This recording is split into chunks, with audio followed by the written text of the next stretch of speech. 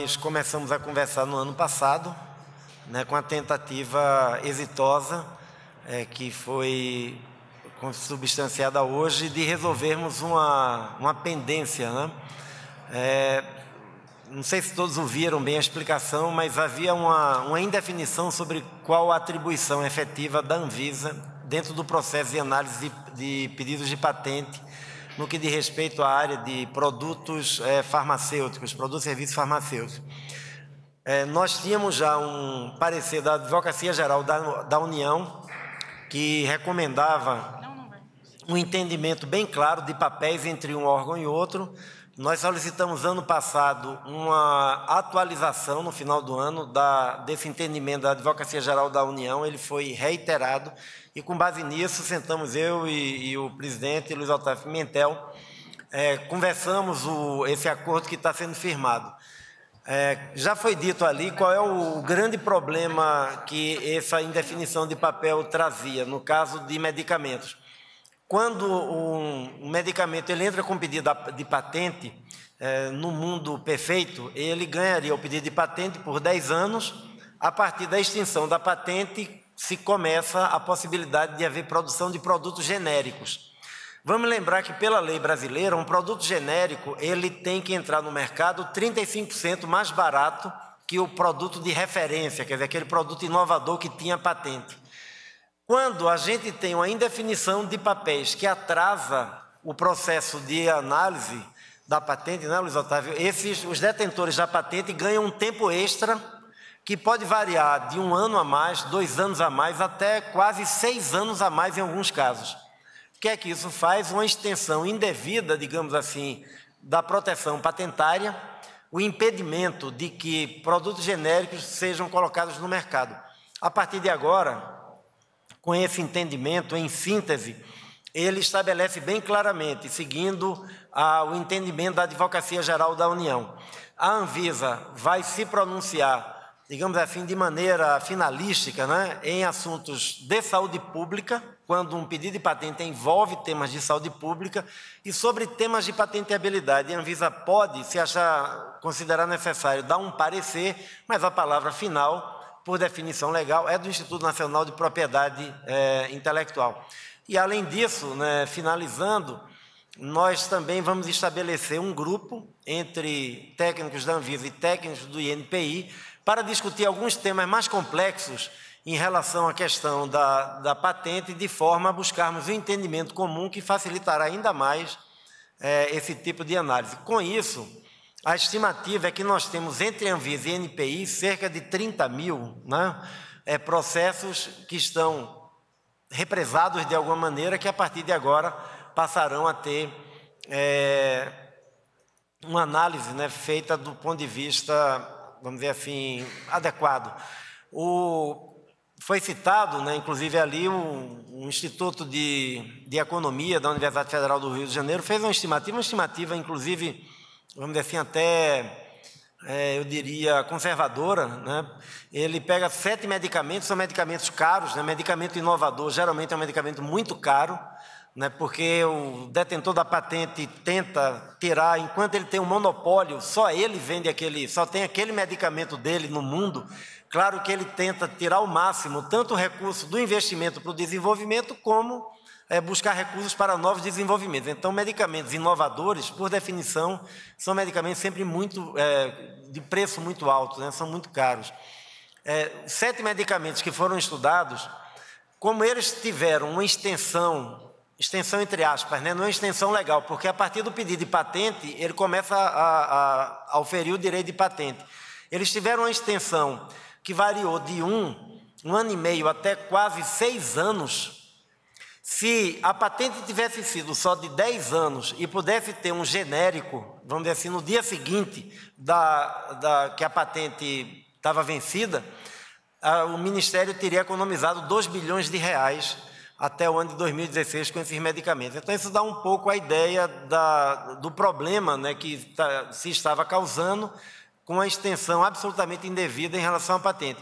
E também dá segurança para o desenvolvedor nacional, né, para o inovador brasileiro, que também com isso é, vai ter mais segurança. Então, do ponto de vista nosso, da, da Anvisa, da saúde, tem essa grande vantagem de, da previsibilidade, que o tempo da patente vai ser somente o tempo que está previsto mesmo na lei, né? não vai ter essa extensão é, indevida que termina privando o desenvolvedor de genérico brasileiro, o sistema de saúde de economizar recursos e a própria população. Então, do ponto de vista da Anvisa, é essa né, a nossa percepção do, dos ganhos, né, da vantagem que nós temos a partir da assinatura desse, de, desse acordo que nós fizemos agora. Essa palavra ao presidente Luiz Otávio. Bom, saudar, doutor Jarbo, saudar a todos dizer para nós no INPI, no Ministério da Indústria, Comércio Exterior e Serviços, né, uma grande satisfação por ter chegado a um denominador comum, agradecer o esforço das nossas equipes, da equipe da Anvisa, por nós podermos estabelecer através de uma portaria conjunto, conjunta a, a disciplina né, e a regulamentação eh, do processo de anuência prévia. Eh, como foi eh, dito pelo Dr. Jarbas, esse é, é, é um tema muito importante por razões uh, óbvias. Quando nós tardamos uh, mais de 10 anos no exame de patentes, o titular desse direito, se for concedido, vai ter pelo menos uh, 10 anos. Então, quando nós levamos 11, 12 ou mais anos, significa que a patente vai ter uma duração de 21 ou de 22 anos. E, através, então, de, dessa regulamentação, e como bem foi destacado também, né, é, é, aplicando de uma certa forma né, o parecer da Advocacia Geral da União a esse é, respeito, o INPI né, continua com a sua atividade legal de exame dos critérios de patentabilidade, que são a novidade, a aplicação uh, industrial, a atividade inventiva e também a suficiência uh, descritiva. Como foi destacado pelo nosso ministro Marcos Pereira também uh, no seu pronunciamento, o INPI está nomeando hoje mais 70 examinadores, 50 na área de patentes e 20 na área de marcas e desenho industrial. Então, com esse reforço que se soma aos 140 que já tinham sido nomeados antes. Então, nós temos agora né, um, um grupo em número suficiente para agilizar os exames de patente. E a nossa eh, expectativa dentro da diretoria de patentes e especialmente na área uh, de fármaco-químicos, né, é que a gente possa agilizar o máximo uh, os exames, e a concessão uh, de direitos. Como foi bem destacado também, para a indústria dos genéricos é muito importante a, a vamos dizer assim, a finalização uh, do tempo de proteção da patente, porque possibilita a fabricação uh, com a tecnologia que estava uh, patenteada. E, por outro lado, também é muito importante também destacar a segurança jurídica que tem dos titulares desses direitos, principalmente a indústria nacional, que tem cada vez mais envidado esforços em pesquisa e desenvolvimento de, nosso, de novos medicamentos, também a inovação uh, incremental no aperfeiçoamento de medicamentos já existentes e de processos de fabricação. E, por outro lado, também o Brasil cumpre com os acordos internacionais e também garante aos investidores estrangeiros e às empresas transnacionais ou multinacionais que atuam no nosso território, que eles possam, uh, então, usufruir desses uh, direitos que lhes são otorgados através da patente. Bom, a primeira pergunta, Natália, da Folha de São Paulo. Queria entender um pouco melhor eh, quais são os critérios que são levados em conta tanto para concessão de patentes quanto para quebra. No caso da quebra, é apenas o prazo de 10 anos? Tem também algum critério de interesse à saúde pública, talvez? Eh, também tem, queria saber o seguinte. Eh, o Dr. Jabas disse uma estimativa de 30 mil processos represados. Queria saber se nesses casos em que há medicamentos em que a patente fica, fica vigente além do prazo legal, se tem uma estimativa de quantos medicamentos estão aí represados que já deveriam ter aí a, ser liberados a patente para talvez desenvolvimento de genéricos. E, é, Natália, veja bem, o que nós estamos tratando aqui é da regra da patente, né? A regra da licença é, compulsória de patente, conhecida como quebra da patente, tem uma regra que não é alterada por essa, esse entendimento que a gente está tendo. O entendimento que nós estamos é, firmando, ele diz respeito a fazer com que o processo de análise da patente tenha um caminho claramente definido. A Anvisa analisará de maneira definitiva, digamos, quando se tratar de algo relativo à saúde pública. Por exemplo, um pedido de patente de um medicamento que, sabidamente, é um medicamento que causou dano à saúde e que não pode ser utilizado. É um, é um, caso típico. Em relação aos aspectos de patenteabilidade, a palavra definitiva é do INPI, porque é o INPI que tem na legislação essa atribuição.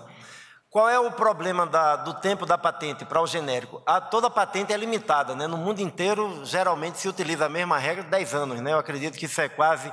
Então, quando entra com um pedido de patente, é, o, o de, quem pede aquilo, ele passa a gozar do direito de proteção da patente até análise.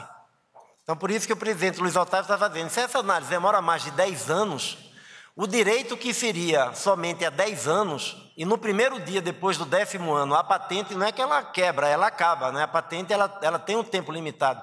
Então ela acaba ontem, hoje alguém pode entrar com um pedido de registro de um genérico e passar a comercializar o genérico. Né? Quando essa análise leva mais de 10 anos, como é o caso que está acontecendo no Brasil, porque ela fica represada pela indefinição de papéis, a pessoa não tem só os 10 anos de patente que a lei diz, ela tem 15, tem 16, tem 17. Então, é, dá uma vantagem, digamos assim, indevida ao detentor da patente e faz com que a, a possibilidade de aparecerem genéricos, que seria no primeiro dia depois do décimo dia da proteção da patente, fica prorrogado para 14, 15 anos é, depois a, medicamentos que estão aí, é, é, olha, a gente tem assim, grandes números, né, que eu acho que são comuns. Nós temos no INPI cerca de 23 mil pedidos de patentes farmacêuticas. Temos é, na Anvisa cerca de 7 mil, dos quais 3.200 já foram analisados pela Anvisa, mas estavam represados. Esses 3.200 agora, por exemplo, a gente de imediato vai mandar para, para o INPI, e ainda tem na Anvisa mais 2.300 sendo analisados. Então, são números grandes, porque, como foi dito ali na cerimônia, é, isso significa, por ano entra mais de mil, né? Então, quando você vai, soma 15 anos, você tem esses números grandes que, que nós temos que ficavam represados. Aí tem, provavelmente, é, lógico, não é que esse pedido de patente impede a produção o atraso no pedido da patente não impede a produção do medicamento. Né? O que ele dá é uma, uma vantagem, vamos dizer assim, indevida, porque ele aumenta, esses medicamentos estão sendo produzidos, né? mas eles têm uma extensão de patente, entre aspas, a extensão, produzida porque a análise fica, é, geralmente extrapola os 10 anos. Não sei se ficou claro. Bom, do ponto de vista do INPI, como está bem ressaltado, né, os direitos de patente são direitos de exclusividade. Então, o titular tem juridicamente a possibilidade de impedir que terceiros sem autorização uh, produzam e comercializem aquele uh, produto. Então, quando nós, nós temos a primeira fase, que é a fase do pedido, então a tramitação toda acontece e, e, durante essa fase há uma expectativa de direito. Mas o solicitante, mesmo nessa fase que a patente ainda não foi concedida, ele tem todos os direitos de, eh, de preservar a sua exclusividade de industrialização e comercialização. Então, o, o, que nós temos na nossa legislação, que é o grande impacto, é que a nossa lei, no artigo 40, parágrafo único da Lei de Propriedade Industrial, chamada LPI, é que o titular terá, se o trâmite for muito demorado, pelo menos 10 anos de exercício uh, desse uh, direito. Então, é, é nesse sentido que a portaria conjunta agora disciplinando essa regra, nós vamos agilizar mais uh, esse processo. Com relação a, a, chamada quebra de patente, que é a licença compulsória, ela é uma espécie de desapropriação, mas é uma desapropriação que uh, quem, de, quem era o titular desse direito, ele também pode continuar a produzir, mas ele não pode impedir que outras indústrias que estejam uh, aí autorizados por essa por essa licença compulsória também fazem façam a produção. Uh, por outro lado também uh, os poucos casos que existem no mundo de licenciamento compulsório não têm sido muito exitosos. Por quê? Porque quem é o titular desse direito, como em qualquer desapropriação, ele também tem direito a uma justa uh, remuneração pela perda da exclusividade. Em alguns casos também né, tem componentes uh, dessas formulações que são necessárias para a produção uh, dos fármacos que são monopólios de algumas empresas. Então, nós que tratamos dos direitos de, de patente, nós entendemos que o melhor cenário é nós avançarmos mais na pesquisa e desenvolvimento desse setor e que a nossa indústria, ou aquela indústria que tem interesse em, em produzir né, os medicamentos depois que caírem em domínio público, depois que terminar o prazo de validade dessas uh, patentes e desses direitos, então possam uh, utilizar uh, livremente. Próxima pergunta, João Pedro, NBR. É, não, só para esclarecer, então, que, essa portaria o que ela faz, assim, de uma forma bem simples, é definir claramente o papel de cada órgão, é isso? E, e, e a partir daí, assim, como é que era antes? O que, que é essa indefinição de papéis, por exemplo, que o senhor colocou? Como é que se, eh, se misturava? Não, isso, a portaria ela esclarece é, com base no parecer da Advocacia Geral da União, porque havia diferença de interpretação da atribuição de cada um dos órgãos. Então, entre aspas, não se sabia quem dava a palavra final em patenteabilidade. Então a Anvisa dava, mas o INPI não, vamos dizer assim, achava que era o INPI quem tinha que dar, e com isso o processo demorava muito mais tempo do que o que seria esperado, né? fazendo com que tivesse esse efeito perverso de dar essa extensão indevida de vários anos ao detentor da patente. Agora, a portaria com base no parecer da Advocacia Geral da União, interpretando a legislação brasileira, diz claramente: em tema de saúde, a Anvisa fala definitivamente. Quando se tratar do tema da patentabilidade, é o Instituto Nacional de Propriedade Industrial que tem que fazer. A Anvisa pode dar parecer né, nesse processo, mas a palavra final é do Instituto Nacional de Propriedade Industrial. E aí, bom, nesse aspecto, um detalhe muito importante que o, o assunto, o cerne eh, dessa portaria conjunta é regular precisamente esse aspecto.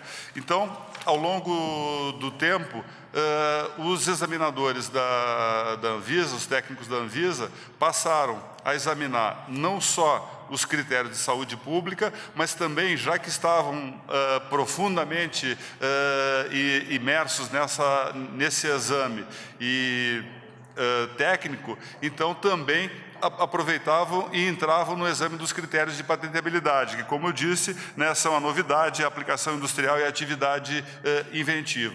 Existe também no processo de exame de, de, patente uma oportunidade que qualquer interessado ele pode apresentar um subsídio ao examinador do INPI até o exame final, aonde ele pode trazer documentos que mostram né, que um desses critérios não foi atendido pelo pedido. E nesse caso, então, ajuda o examinador do INPI e quando for procedente essa documentação juntada, então ele é indeferido. Então, nesse processo uh, com a Anvisa regulado pela portaria agora, então todo esse esforço uh, que é feito pela Anvisa, que para nós é muito bem-vinda, ele será recebido, além do critério de saúde pública, ele será uh, essa contribuição recebida por nós como um subsídio, como um importante subsídio ao exame que é realizado no INPI. E quando os critérios apontados pelos técnicos da Anvisa nos levarem ao indeferimento do pedido, então, logicamente,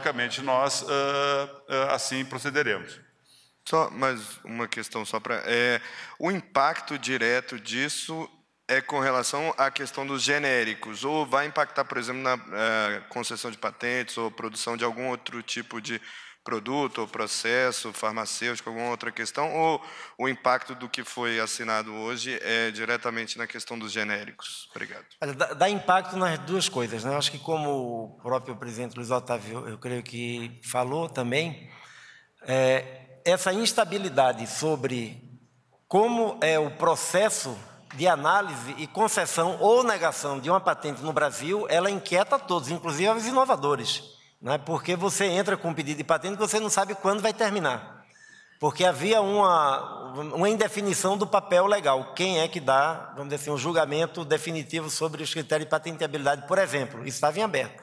Então, mesmo para os inovadores, dava uma incerteza, né? Como, quanto tempo vai demorar a análise, quanto tempo eu vou ter, o que é que vai acontecer. Se um órgão diz que deve dar patente e outro órgão diz que não deve dar, por exemplo, isso dá uma incerteza para o inovador. E para o, a questão do genérico especificamente, digamos assim, é um subproduto, mas é um subproduto muito importante, porque essa demora causada pela indefinição fazia com que o direito de patente de exclusividade no Brasil, que deveria ficar restrito a 10 anos, na prática está ficando por 15, 16 ou mais anos. Então, isso, claro, você só pode comercializar um genérico quando aquela patente se extingue ao final do período dela, no caso, ao final dos 10 anos. Se em vez de 10 leva 16, foram seis anos que aquele produto ficou com monopólio, e são medicamentos inovadores geralmente caríssimos, né? estamos falando de medicamentos de 10 mil, 20 mil reais por, por ampola, né? de centenas de milhares de reais cada tratamento, Nesse caso hipotético que eu dei, de seis anos de, de extensão indevida, naqueles seis anos poderia ter um genérico, pelo menos, já reduziria em 35%, ou poderiam ter cinco genéricos disputando o mercado, que levaria a uma redução ainda maior. Então, por isso que, além de dar garantia para o inovador, porque ele passa a saber um processo né, que tem previsibilidade, exatamente qual é o caminho que ele vai percorrer e aonde ele chega com cada passo, também para o desenvolvimento do genérico vai ser importante, porque nós vamos ter exatamente só aqueles 10 anos previstos em lei, não 15, 16, como está acontecendo hoje para alguns medicamentos. Próxima pergunta, Lígia Estadão. É, bom dia. Eu tenho duas perguntas. A primeira é a seguinte: quanto tempo vai ser preciso para se analisar todos esses processos que estão represados? E eu queria também saber, eh, doutor Jabas, quais os critérios de saúde que a Anvisa vai analisar? Bom, com relação a, ao tempo de, de, exame, depois do processo uh, estar uh, saneado e pela ordem de protocolo no INPI, uh, quando ele chega nas mãos dos examinadores, o exame é relativamente rápido, no máximo sete meses. Né? Agora, até chegar na mão do examinador, é que nós temos, às vezes, um, um longo período, ou então uma fila uh, grande que não permita que seja uh, examinado. E dentro desse processo, como é um processo uh, administrativo, também existe oportunidade para diligências do examinador, apresentar diligências, também a verificação de pedidos que já foram concedidos em outros países antes do Brasil e se esses pedidos que foram concedidos em outros países têm as mesmas reivindicações que estão uh, sendo solicitadas aqui no Brasil. Então, para nós, hum, da área técnica do INPI, nós não entramos nessa questão dos critérios de saúde ou se o, o produto é nocivo ou não uh, para o seu consumo. Para nós, a verificação técnica é se cumpre os requisitos legais de patenteabilidade. Veja, em relação ao critério de saúde, fundamentalmente nesse momento a questão da segurança. Porque o processo da patente não substitui o pedido do registro. Né? É, quem é, pede a patente, na verdade, ele está pedindo, como o, o Luiz Otávio falou, a exclusividade durante, pela inovação que ele, é, que ele desenvolveu né, naquele produto, ele tem uma proteção para produzir durante 10 anos. Não significa que ele vai, vai poder ser comercializado. Para poder ser comercializado, ele tem que pedir o registro. No registro, aí sim, é analisado, além da segurança, eficácia né, e outros critérios. Mas, nesse caso, a patente é exclusivamente, vamos dizer assim, uma primeira análise para dizer, olha, do ponto de vista da saúde, isso pode ter risco, porque essa droga que está sendo colocada aqui no Brasil, mas tem eventos que aconteceram em outro país e assim por diante. Ou seja, nós vamos olhar do ponto de vista de saúde pública qual é o interesse. Temos alguns temas que nós, 16 temas que nós é, vamos conversar, temos um mecanismo de, de diálogo com o INPI, porque para, para algumas questões, além da segurança, outros interesses de saúde podem ser colocados. Né? Alguns temas de fronteira, segundo uso, por exemplo, nem sempre é simples é estabelecer exatamente se, do ponto de vista da saúde pública, fica bem caracterizado que aquele segundo uso é uma inovação relevante ou não. Nesse caso, como o Luiz Otávio falou, a palavra final sobre patenteabilidade é do, do INPI, entretanto, a Anvisa poderá oferecer um parecer, né, e um parecer para a consideração do INPI sobre se, do ponto de vista da saúde, há interesse vamos dizer assim, naquela patente, ou se na verdade é uma inovação que já foi é, bastante preenchida, digamos assim, por coisas, produtos semelhantes que já existem disponíveis e que se trata efetivamente apenas de uma busca do fabricante de ter uma nova de ter uma nova patente. Então, a diferença é que, no caso de saúde pública, a palavra da Anvisa, digamos, vai ser a palavra definitiva que o INPI vai considerar. No caso de patentabilidade, além da questão da segurança, se há outros elementos que nós achamos que o INPI deve considerar, no caso da patente, a equipe da Anvisa vai analisar e vai oferecer isso como subsídio técnico para a análise do INPI. Mas isso vai ficar a critério da ressaltar também que são duas situações distintas. Então, perante o INPI, o, solicitante vai ver otorgado um direito de exploração uh, exclusiva. Exploração exclusiva significa industrialização e comercialização. E o outro aspecto é o aspecto da Anvisa. É, isso pode ou não ser, uh, ser comercializado? É ou não é nocivo à saúde pública? Com a situação da anuência prévia, nós temos né, uma certa inversão desse processo, ou seja, durante o pedido de patente, a Anvisa já se manifesta se isso pode ou não pode ser comercializado, pode ou não pode ser produzido. Mas essa lista de 16 itens, né, que seriam essas, são 16 temas, isso vai ficar a critério da, da Anvisa apresentar esse parecer, ou ele sempre vai, a Anvisa sempre vai apresentar esse parecer? Esses 16 temas, como são temas de fronteira, né, inovação na área em algumas áreas, como em todas as áreas eu, eu sei que é complicado, né? tanto que a análise é uma análise muito complexa, mas particularmente no campo da saúde, você tem alguns temas que foram esses temas é, discutidos entre as duas equipes técnicas que Anvisa e NPI vão ter um diálogo técnico para buscar o um entendimento comum sobre esses temas. Esse entendimento comum facilitará, porque, por exemplo, nesse exemplo que eu dei, segundo uso, que é um dos 16, se é um entendimento comum, que é objetivo e o máximo análise, quando se tratar de um pedido de patente por segundo uso, a Anvisa já vai ter o parecer e o técnico do NPI já conhece qual é o entendimento da Anvisa e se o entendimento for comum, isso se dá mais rápido. Então, esses temas são temas que vão, ao longo agora do tempo, nós temos essa, esse diálogo entre Anvisa e NPI constante, porque às vezes tem inovações, pode surgir um 17 tema daqui a pouco, mas na avaliação nossa, esses 16 são aqueles temas que mais se coloca assim na fronteira, em áreas cinzentas, digamos assim, onde quanto mais entendimento técnico houver das duas equipes, mais rápido será a análise. Doutor Jarbas, a Anvisa não perde poder com essa nova, nesse novo arranjo que foi feito?